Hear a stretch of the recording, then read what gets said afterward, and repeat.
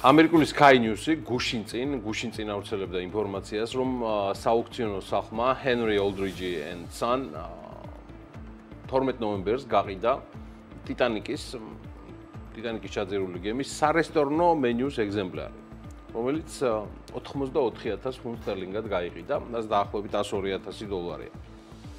ის რომ Henry and Aldridge სერიოზული აა სააუქციონო სახლია, ეს ფაქტია და აი ამ ფოტოს მიხედვით ვიგებთ, რომ ლეგენდარული გემის რესტორანი სრულიად არაჩვეულებრივი ტიტანიკი იყო სრულიად არაჩვეულებრივი მენიუთი წარმოდგენილი. იქნებოდა ეს ზღვის, ქათმის თუ ხორცეულის არაჩვეულებრივი ნაზავები, რომელსაც არ ვიცი ხა რამდენად გადაიღებენ ქართველი რესტორატორები და მზარეულები.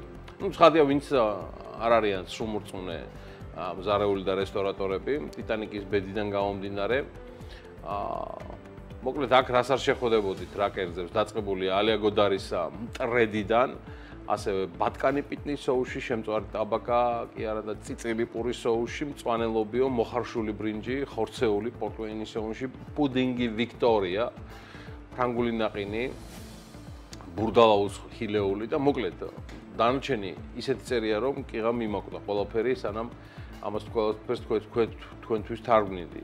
და ეს მენიუ რომელიც ახლა უთენია მე სადისტმა თუ მაზოხისტმა წაგიკითხეთ დათარიღებულია 1912 წლის 11 აპრილით.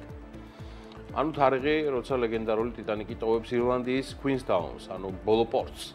სადაც ტიტანიკი იყო შესული ტრაგედიამდე. დიახ აი ეს არის რეალური ისტორია და არა მხოლოდ ჯეიმს კამერონის გენიალური რეტროპერსპექტივა რეტროპერსპექტივა უკაცრავად სადაც მის საავტორო ფილმია გადმოცემული, სხვა შორის ამის დასტურია წერილი, რომელიც როგორც გითხარი, დათარიღებულია 11 აპრილით 1912 წლის. ის ეკუთვნის რამონ გომეს, რომელმაც ეს წერილი დაწერა და გაგზავნა თავის ძმასთან, სწორედ 11 აპრილს ირლანდიიდან და ეს წერილიც ამდენიმე წლის წინ აუქციონზე გაიყიდა მონტევიდეოში, ურუგვაიში 12000 დოლარად. ოღონდ არავინ იცის ვინ არის მისი მყიდველი. მოკლედ ტიტანიკმა თავისი პირველი და უკანასკნელი რეისის შესრულება დაიწყო საუთჰემპტონში, დიდ ბრიტანეთში, სადაც სოფლიოს ყველაზე დიდმა გემმა 1912 წლის 10 აპრილს დაიწყო ნიუ-იორკისკენ გზავრობა, ცურვა, ხოლო უშუალო ტრაგედია, ანუ აისბერგთან შეჯახება ატლანტიკის ოკეანეში უკვე 14 აპრილს ღამით ხდება.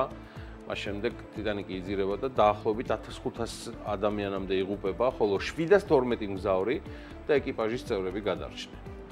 აი ამ მენიუზე ასევე არის დატანილი და ამოტვიფრული გემჩენებელი კომპანიის White Star Line-ის ლოგოტიპი, ინიციალები OCNC, ანუ Ocean Starship Navigation Company და ყველაფერი მესმის აბსოლუტურად მართლა დიდი და მოუწურავი ისტორია ტიტანიკისა, მაგრამ აი ამ 712 გადარჩენილებიდან ერთ-ერთს რატომ ჰქონდა მაინდა-მაინც ეს მენიუ თან რომელიც ამდენი წლის შემდეგ დაახლოებით 100 წლის შემდეგ ამოვიდა უკვე და ყველა საჯაროდ გაიგო მისი არსებობის შესახებ და აგერ 100000 დოლარით გადაიხადეს, აი ვერაფრით ვერ გავიგე და იქნება როგორმე თქვენ დამაკვალიაროთ ამ ამბავში.